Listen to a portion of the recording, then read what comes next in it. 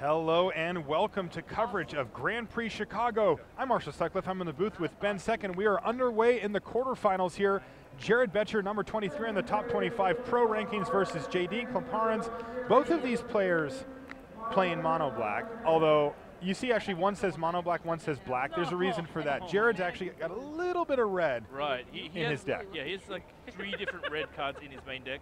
Um, he has uh, some Dreadbores, he has a Mizzium Mortons, uh, Mortars, and a Rakdos Return as a red splash. Um, Jadine has it's mono black. She only has Swamps and Mutavaults as her lands. Yeah, Um, her, her deck's a little more streamlined, a little more simple. Maybe Jared has a little more power because of the red, uh, you know, at the top end with that Rakdos' return. Yeah, if, if he's able to draw the Rakdos return and, and, and get it off for a reasonable amount, it's going to be like significant um, in, in the matchup. But um, the Jadine is, is, is far from kind of uh, helpless against it. She she has line sideboard that has cards like Duress and, and actually she even had All right, so she led things off with the Thoughtseize, took away underworld connections. That's pretty standard, although Jared Boettcher followed up with Pack Rat here, and Jadine hasn't answered it as of yet. Yeah, that's that's kind of interesting. The only thing I would say that she could have Thoughtseize the pack rat, she saw saw it, so it, it seems to be pretty obvious that she has a Bile Blight um, to deal with it. Otherwise, she probably would have killed it straight away. Yeah, that's the, really the only answer there that she can have. Like, she can't let Jared untap, maybe hit an untapped land, and then have access to a second rat. Though he does have access to a second rat even after that one got Bile Blighted. Right. And there it is. And she's going to use Hero's Downfall to take out the rat. So this is all pretty standard issue stuff for the mono black mirror. It is attrition-y. Oh, very, very much so. It, it really comes down to who has the last card advantage engine standing at the end of like all the discard that comes. Now, one of the other differences that you'll see in these mono black lists sometimes, and, and it is expressed here as well, is Jadine is playing Lifebane Zombies, where Jared is playing um, Night Veil Specters instead. So, wh- what what favors what in the mirror? In, in the mirror, the Nightveil Spectres are stronger. I mean, like, one of the reasons why um, that uh, Lifebane Zombie has become a little, little bit more po- popular is one, the rise of Jund Monsters, which is really good, good against. Also, it actually happens to be a pretty effective clock versus the control decks and the mono blue decks, and so that, that's another reason why it's actually quite good. All right, so Jadine plays her fourth land. And I think she just attacked with that Mutavault. Is that what we're seeing? Yeah, I think And so. that's it. Passes turn back. And Jared's missing land drops here. He draws. He says go. Sh- Looks like Jadine's pretty content to start keep attacking here and uh, maybe pressure Jared with his mana confluence. Try to make that a little worse for him in any future draws along those lines. Here it is, though. Underworld connections for Jadine Yep. is going to keep things moving. She's going to activate her connections right away, drop her down to 17 life. Doesn't play a land this turn, and either does Jared Boettcher. So th- th- both players are stumbling a little bit. Jadine's the one with the connections here. Yeah, I mean Jadine's going to like pull ahead here unless Jared can draw a land soon. He's going to be in deep trouble. Um, really, Jared's uh, land position really shows why, um, like you know, this is the risk you- Wow. you, you take playing like two colors. Yeah, look at yeah, exactly. Because you take a look, and that temple isn't casting anything in his hand right now. Yeah. It's basically colorless, and he peels the swamp off the top, but his hand looks pretty nice here. He can play a desecration demon here. Right. The reason why uh, Jared happens to be playing Blue Red Temple is he wanted another Scry land in his deck um, that produced red, and so what the uh, Temple of Epiphany does is allow him to still have a, a red source that can be used to cast Night Veil Spectre. Right. Unfortunately, it doesn't cast the black spells in his deck, and Hero's Downfall is going to take down the big Desecration Demon, and Jadine's going to get in there, drop Jared Boettcher down to eight, and that's going to do it. Jadine Klomparens takes game one in quick fashion. Nice smile there from Jadine as well. That's got to feel good. Yeah, no, I mean, look, this is a, this is a really good game to steal. I mean, he, he, she was not on the play. Thanks, Rashad. Jump into our Yuta Takahashi versus Oscar Jones match. To be fair to Rashad, he didn't have another option. but uh, looks like that game just ended. We're going to get a, an update there to figure out who it is that won that game. We can take a look at our feature match area. Who did? Yuta won game one versus Oscar there. Now I can tell you that Oscar's playing for a lot here. Uh, Oscar's a, a young, up-and-coming Magic player. He's already got one top eight uh, this season. It was in Modern. He was playing Pod. Uh, now he's playing sort of his signature deck, Mono Blue, and he's found himself in his second top eight. So he's looking to make a run for silver. Okay, he's going to get four points here for top eighting, but he needs six. If he gets to six, that will qualify him for a, a gr- he will be qualified for three pro tours if Oh, he wow. gets to six. It'll get him for Portland, it'll get him for Honolulu, and whatever the next one is after that. If he does not get here today or on the next two, if he doesn't meet that threshold, he only gets qualified for Honolulu. Right. So it's a big swing for, for this young man, and he's uh, he's definitely looking. He's like he basically said he's like, look, I can win one match here, and then get a top 64 in DC. in DC or in um, in Boston, or I can win two matches here and just not have to worry about it, or I can lose here and get a top 32 and get in. He's still got one GP slot of Right. points to fill, so he's not dealing with that where he's got to bump out some points. But uh, being down a game here in the top eight, uh, obviously not the way that he wanted to start. Now back on our main match here, players are sideboarding. And uh, Jared stumbled for a few turns, and Jadine capitalized in a big way Yep. and is looking to advance to the semifinals past really, you know, you mentioned it a little while ago, Ben. Jared Boettcher, just one of the best rookie seasons we've seen. Yeah, no, like absolutely stunning rookie season. Not just at the Grand Prix level, at the Pro Tour level, he has two top 16s. Including the ninth. Right, including a ninth, and he was so close. Like he, he had a couple win and ins that he like that he missed just to uh, missed the last one at uh, Pro Tour Journey into Nyx. Mhm. Um, but a fantastic like start, already locked for platinum. Very very close to like an unassailable lead in the rookie of the, le- rookie of the year. This would just like add it like if, if you could just win this or like get very very close, he could really just put it out of reach. Yeah. Um, So we have our like, the, the sideboards, and obviously you would you would think that like a, the black red deck might actually have a few more um, cards to bring in. So uh, Jared has uh, three duress, um, a Sire of Insanity. I think that he's going to bring in because actually like it happens to be like quite a good threat. Um, if you can, if you're on the play, basically you can like play it, empty your opponent's hand, and then you have the threat and they don't have anything. Um, here's another Rakdos return to add to his, the one in his main deck.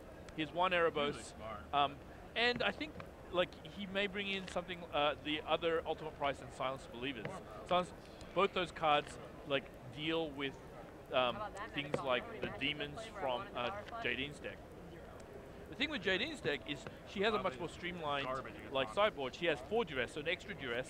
She has read the bones, which kind of like complements, basically acts as um, acts as the uh, underworld connections like five and six, not exactly, but like it, it gives them card advantage in, in that similar way. Um, an extra Erebos, so she has two Erebos in, in uh, sideboard, and a Dark Betrayal. Ba- Dark Betrayal, like one of the most efficient ways to deal with Pack Rat, Night Veil Spectre, Desecration Demon, just one mana. Like having that is going Instant to be good. speed, yeah. It's it's actually like probably one of the reasons why like sh- like she, she can kind of match one for one against uh, Jared who has an extra color. Card draw bent 'cause you only do one bridge, right? Yeah, I should probably fix that at some point, but All right. Players are idly chatting with each other, but they seem like they're having a fun time, which you should if you're in the top eight, though. I mean, Yeah. Ah, the nerves can get you a little too. Uh, it's a lot on the line here. The, I mean, I, I understand. the good thing for them is like, may, like the the big part of the nerves are gone. I mean, in, in some ways, you've gotten the slot, you've gotten the flight. Um, you you're you're already going to the pro tour. Now, I'm not saying that like they don't want to win. They I mean, absolutely want to win. Yeah, money's a thing. Yeah, money is a thing. I mean, maybe maybe Jared could even get a new Pokemon hat if he. I, I think this one has done him pretty well. I wouldn't get I wouldn't get rid of it for anything. I agree. Well, Just make that part of his body. So it looks like both players are going to six. it's not a good That's fair at least.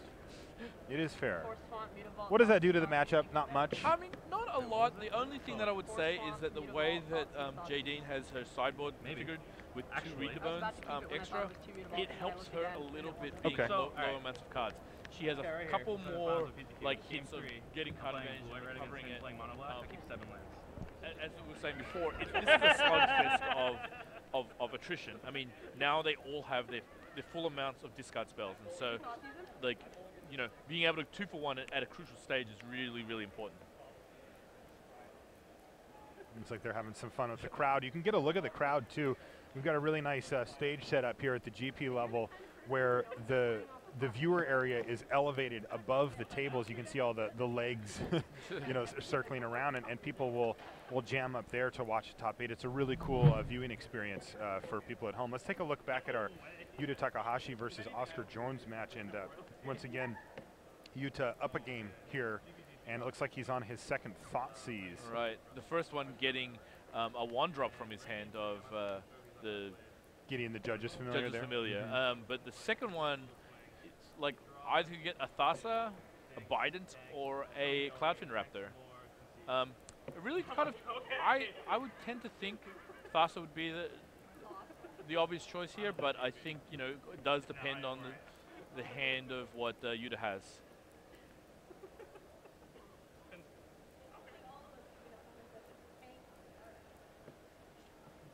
having the out in your hand. Like, just like Oscar actually with a pretty good um, a pretty good draw. Just you know he he, he had all the curve. All right, Bident gone. but gets to play Thassa. Now Thassa, one of the harder cards to, for um, Yuta to, to get rid of. He might not actually even have a way of like easily getting rid of It's- Thassa. It could just be impossible. I mean, outside of. What, is there anything? I don't think there's anything like. Uh, funnily enough, uh, Jared has. Uh, um, Jared has a silence of believers that like could be in Yuta's sideboard. I don't know if Yuta actually has a, a silence of believers that would actually get rid of it. That's interesting. Okay, so I think both they're both players are on six six cards on our main feature match, and so Jared is opened with a thought Thoughtseize. A thought Thoughtseize, and he's going to take away the, the obvious target, Yep. which of course is Underworld Connections.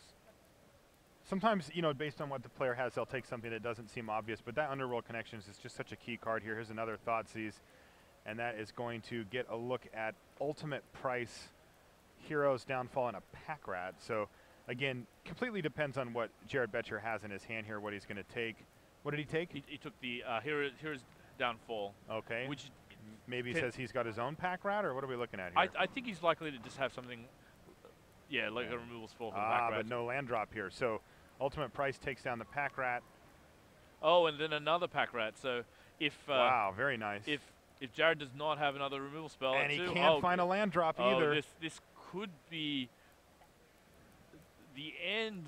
This could be very, very bad for our potential Rookie of the Year, Jared Boettcher. JD Klomparens is going to take over this game with Pack Rat if he doesn't find something right quick.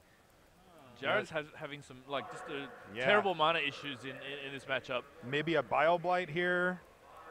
Yeah, he he, he, he, really has one. He, he kind of has that. Oh, and it's Wow, it's and he's over. just going to scoop it up, and JD Klomparens is going to advance to the semifinals.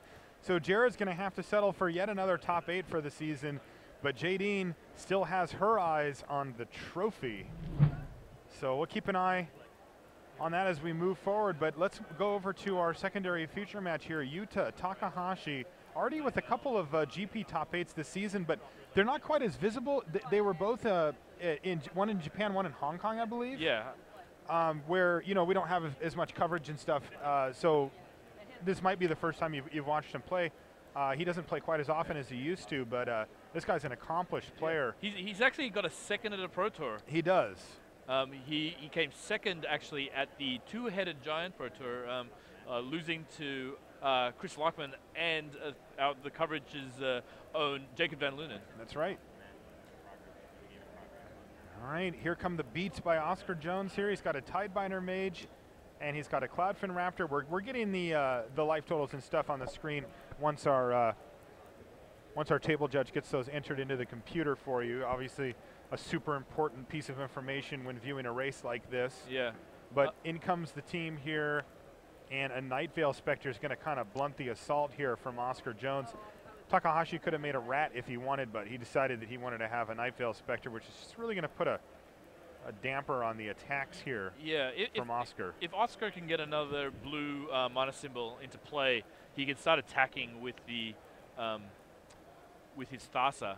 I mean, it, it it, it seems like he he may actually be like do have done quite a lot of damage. Okay, so I'm sure that's a rapid hybridization Right. there. So that's going to make a 3-3, but it's going to be on the ground. Obviously, that is not a fairy. oh, so does he's, not have he- flying. He's, he's he kept the card that uh, was So if he he's scried. okay, well, if this is four mana, it's either Master Waves or Bident of Thassa, right? Yeah, and it, and I think if- if it's if it's actually Bident, it's it's oh wow. Uh, there's one other option, yeah, domestication. even better actually because it allows them to attack with everything. that's um, right, including Thassa. Right, which is which is huge. Actually, it's probably one of the best draws he could have had at this point. Yeah, that was nine mana. That judge better get that life total up there quick because I don't think there's going to be a life total here for long. Yeah, I, I, I, I'm pretty sure there's almost no amount of life that uh, Yuta could have been on that doesn't make the next attack, uh, like basically fatal. Um, be- Exactly. because he has enough mana to to make two of his uh, creatures unblockable. Most likely the Thassa and um, you know another creature. If he doesn't want to take the risk, he can also just make the three power and a two power creature unblockable. That way, if something gets killed, he can still get in. Really, what Yuta needs is uh, he needs so- something to to reduce the amount of pips in play. No, he doesn't look. He looks like he he's up two. So yeah, he's really and really that's too far it. behind. Yeah, yeah, you, you were right, Ben. I mean, it, it made sense that after taking nine damage that turn, and plus we had seen an attack for four before that, that he was going to be at very low life total. So let's go to game three. So like this is like obviously a very very classic match in the um, classic matchup, like mono blue versus mono black. Um, you got Ta- Takahashi has like Furix, uh, Pharika's Cure, Doomblade, and Drown in Sorrow to really really kind of put a hurting onto uh, Oscar's deck, um, as well as Lifebane Zombie. Lifebane Zombie being a pretty common sideboard card in um, to, against the the mono blue decks because it provides a really really fast clock. Taking a look at the feature match area, though, th- th- we, we've moved a couple of players over so we can watch their match after Oscar and uh, Takahashi are finished, but that's not them there. Yeah. So so th- this matchup you're actually seeing in the in the front table now is uh, Steve Wise versus Steve Rubin. Um, Steve fight. hold on, actually, I'm just making sure that's tr- that's actually no, it's no, it's not actually. It's uh, Steve Rubin versus Tyler. Yes, that's right. Is it Tyler Bloom? Tyler Bloom versus S- Steve Rubin. Um, so it's a, it's basically a mono black um, matchup. Um, one one of the things is uh, Steve Rubin basically has um, is splashing a little bit of green um, for uh, abrupt decay as well as um, some other like Golgari charms in the sideboard. Okay. So we'll, we'll be popping in on that one after this one's done, but let's keep an eye on Yuta Takahashi versus Oscar Jones here as we're getting a game three. Mono black for Takahashi versus mono blue for Oscar Jones, kind of two, two of the most popular decks from uh, the duration of the standard format. Again, Oscar has uh, two GP top eights this season, as does Yuya. Yuta, excuse me. As you said before, Oscar playing for a lot here. a like lot. If, if he can get to the finals, he get he essentially it's it's a double PTQ win for him. Yes, that's right. And he's gonna that would qualify him for Portland, for Honolulu, and for the for the Pro Tour after that. If he doesn't, he's got work to do. He has Right. he's not qualified for Portland, so he doesn't get those pro points currently. So he out of the next two GPs, if he were to lose this match, has quite a lot of work to do. Now he doesn't need much. He needs either depending on where he finishes, he needs either a top 64 or top 32, you know, but he needs a, a, a cash money finish at one of the last two GPs, and he is going to both. I asked him. It's good to see a, a lot of the younger players like hungry to really kind of like get make their name on the pro tour. Oh, he's definitely that. Yeah, he kind of broke in um, when he uh, he had the uh, Magic Online Championship. He played in, in in that, and and that was the first time that we kind of got a chance to see Oscar play, and. Uh, He's been playing at a high level since. He's a young dude, though. I think he's 17, 18. Like he, he's still in school. So, Okay. all right, looks like we're we're kind of like inceptioning here. So we're looking back at our main match, which is now Tyler Bloom and Stephen Rubin. But we're just looking at them while while we resolve mulligans on our secondary match. We're going to be sticking on that one though, to see who wins. And uh, this looks like ye old mono black mirror here. Thought sees you, thought sees you, take your pack, Pack rat. rats. Yeah. their, their graveyards are identical. Yeah. But as we said before, Steve Rubin is the one with the green splash in his deck, so it uh, you know gives him the underworld connections advantage since he can like use his abrupt decays to, to, to basically deal with it.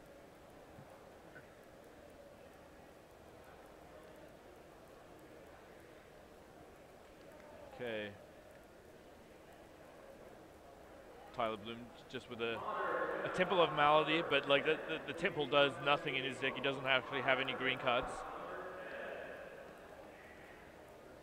So Yeah, who's having fun? the hot seas, the hot seas. No the one's hot gonna cast any duress. spells this game. no. Um, so, like, almost definitely going to take one of the uh, connections here. Like, the other option is Bile Blight, and unless he really, really thinks he's going to press an advantage with uh, Some with pack a rat pack rat or something like yeah, that, he, mhm. I, I think he'll uh, go for the slower card. Interesting to note, though, that Tyler does not actually have uh, a third land, so it's possible that if he does have pack rat, he he'll take the Bile Blight and try and like capitalize on the fact that he's like d- low on land. He did. He did. So that really, really kind of like is an indication of one or two things. Either he has um, a pack rat, or possibly even a lifebane zombie. Yeah, it's kind of kind of stinky for him though. he had Uh, to play a guild gate there. Oh, wha- All right, so he was going to try to to ha- hammer home there with the. Uh, well, that's actually interesting. The desecration demon doesn't care about Bile-Blight at all. No, I, I- I guess he just wanted to, to improve like the, possibility of his draw here. I'm not sure exactly. As it, as it turns out, he actually drew a pack rat, so he kind of like he somehow foresaw his uh, That that was. Uh, wow. Wow. So and and I mean, he must have known somehow.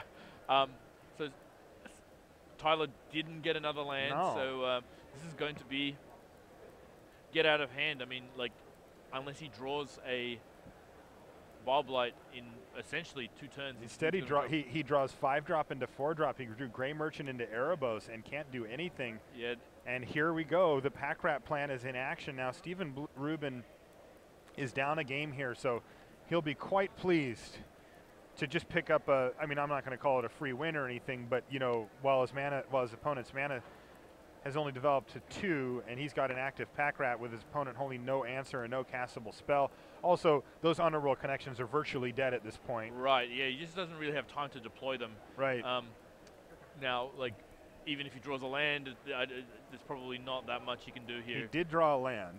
Yeah, so like he's kind of almost forced. He's priced into basically having to play the the connections and perhaps. Oh, okay. Oh, no, no, no. It's, yeah. Nightveil Spectre's a, a card, but still, it's just not big enough to tussle with the rats here. And the rats will now be out of Bile Blight range too once Stephen Rubin uh, makes another copy of it. Yeah, and they're hitting for 12 this turn. I mean, it- Right. there's just not a lot of things. And that's gonna do it. Yeah, the 12 I believe is. Uh, no, you see. The block scoop? um, You don't see that very often, but, but he went for it. Maybe he was just trying to kind of, you know, show that he he knew that he could probably survive an extra turn. Right.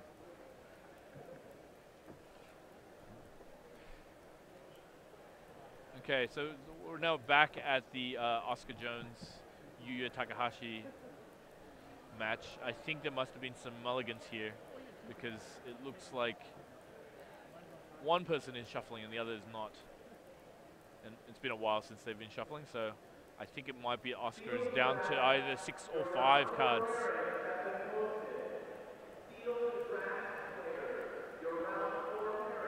Okay. Let's see how many cards that Oscar like puts in front of him. Five. Five. Oh, this is not the greatest thing to, to, to have like when you're um, He's shipping this one he's- back. He's, shipping. He really had one land. He had some some four drops. He just couldn't really keep that.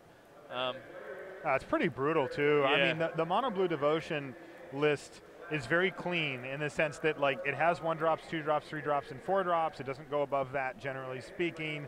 And uh, I mean, it's a monocolor deck, so the mana is pretty easy. Like you'd think that this deck would mulligan really well, but if there just aren't lands, you can't do anything about it. right. And and and and it, it's because it's very temporal oriented. It doesn't have that much time to actually like find lands if it's short on lands. It's, it it can't really hang around that much. Its its cards get much worse in the mid game. Totally, like drawing that that fifth turn, you know, Cloudfin Raptor Yeah. is just ugh. No, it's just not a good place. Let's take a look at our upcoming webcast schedule while we resolve these mulligans here. GPDC and GP Milan are both next weekend. Those are limited. We're going to be bringing you all of that. So if you uh, if you have a little free time next weekend, g- get on that couch, and we're going to be with you most hours of the day. GP Boston is uh, about a month later, and that leads up to the Pro Tour, August 1st through 3rd. All right, we're underway. Pack Rat on turn two for Yuta Takahashi. Okay. And a, a rather sad Cloudfin Raptor on turn two here from from Oscar. It's- and yeah. is th- is this going to be just Pack Rat GG here, I, I think it might be Pack Rat GG. Uh, the, the one thing I will say is that Oscar Jones does actually have a a Spectre, so he's gonna like do his best impression of curving out if he can draw another land here. okay? In the meantime,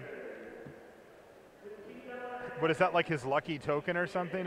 Well, I mean, Yuya's like really well known for being a fairies player, so uh, like I think he's using some of the tokens that from like when he was playing a lot of fairies in I um, see. in extended. And Yuta is going to fire off a thought Thoughtseize here. And he's going to see a pretty stacked up hand. Unfortunately, none of those spells are currently castable. And in they come, make a rat. Yeah. And unfortunately, I think we're going to see this one end pretty quickly here for Oscar Jones. If he can find a land, if he goes land, land, you know, maybe he changed them into, to each other because because the uh, master waves can be really nice, but he couldn't find one there. Yeah, I, I, I think that that's this is the final nail. Not, this, I mean, mulligan to four is bad enough, but like if your opponent has a essentially like pack rat and, and perfectly curving out, like he's, it's just it's just too much. And so Oscar probably only has like maybe one more turn before he uh, succumbs to the rat army. Yeah. Takes about 100 damage there, and Oscar has to extend the hand. So Yeah. tough beats there for Oscar Jones, not able to get past the quarterfinals. He did add a nice chunk of pro points to his uh, to his resume here for this season, but he's got a little bit of work to do in these next two GPs if he wants to pick up that silver status. Yeah, it, it look, I think he needs to get like probably a top 32 or maybe a top 16 to to really kind of give himself the best chance at silver here. Correct. So we're back down to the, the Tyler Bloom Stephen Rubin match. Yeah, we're back on our main our main table here, and uh, we'll get those names switched over for you shortly here. But we've got a pack rat entering the red zone. What else is new? yeah. So I mean, it, that's an underworld connections not being discarded. It's actually being used, and there's Bile Blight to take out the rat. so with the mono black against uh, like triumphing over the mono blue and the other two uh, quarterfinals being um, mono black mirrors. So we, we're going to have at least three um, black based devotion decks. Um, and the other one is almost oh it's definitely going to be a blue white deck because uh, It is. it's it's a it's a blue white mirror. Correct. Now we, we saw a nice sequence there. Uh, there was an underworld connections that got blown up before it could even get used, so that's always nice. Now this one is not going to suffer that same fate though. Yeah, I mean, like at, at the very at the very least, Tyler is going to be able to draw one card. If uh, it looks like um, Steven does have a Golgari Charm in, in hand, so he, he can he can deal with the underworld connections.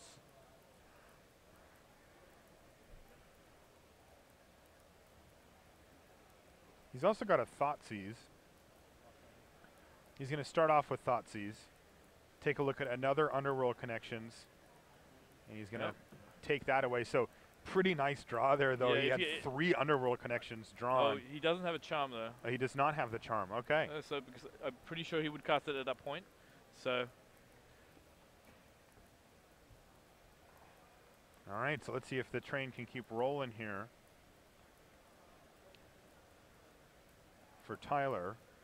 all all Tyler needs is like probably three to four turns of like underworld connecting to really, really like make it hard for like Steven to come back. So cr- create some separation. yeah, he.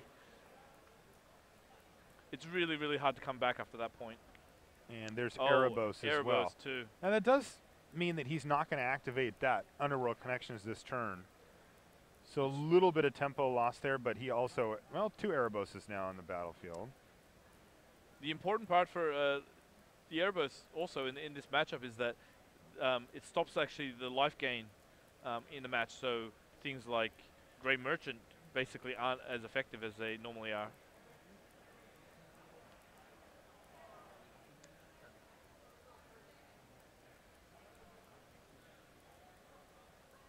So Tyler playing one life, drawing another card here. Think that uh, Steve's a little beh behind the eight ball, just because he's, he's he I think he missed a land drop next last turn. Oh wow! So th so he actually drew a specter, which gave him devotion, allowing him to attack with his huge Erebos. Yeah, five power crashing into the red zone there. Those are the type of life total chunks that are pretty tough to get back and make. Yeah, Ty Tyler looks like he's he's kind of It looks like he's in the driver's seat Yeah, here. I mean, is he going to hit with the Night Veil Spectre as well this turn? I mean, Yeah, he, I mean, he, yeah, I, I think he, he will. Uh, there's a duress to see if the coast is clear. Um, okay. Steve casts his. His Devour Flesh, and it looks like the Mutavault's going to take one for the team here for Tyler Bloom and hit the bin, but that leaves him still with active Erebos and still with the Night Veil Spectre that he can attack with. Right, but There's uh, no targets for yeah. the duress there.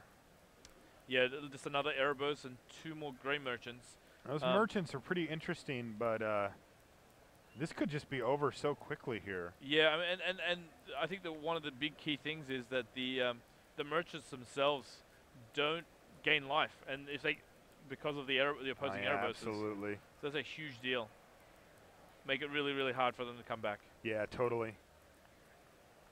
Also, Erebos incredibly difficult to get rid of. Even in creature mode, it's most vulnerable, but even then, takes a few very specific circumstances or answers. And Tyler Bloom is going to bolster his late game here with a second underworld connections, and I think we're going to see a concession No, here. so so Tyler Bloom goes. advances. He does. So Tyler Bloom puts together the win here. Yeah, and, and and really in the face of like I would say a slightly bad matchup, just I think when you think about the fact that Steve Steve Rubin can actually like remove his opponent's uh, connections. I mean, he didn't draw it unfortunately. He he he was he ended up with uh, a connections like landing and able to like really pull away. All right, so we've got one, two, three now of our competitors advance to the semifinals, and to the shock of absolutely no one, the blue-white control mirror is still going. um, S- Steven actually uh, beat Adrian in the in the Swiss, so.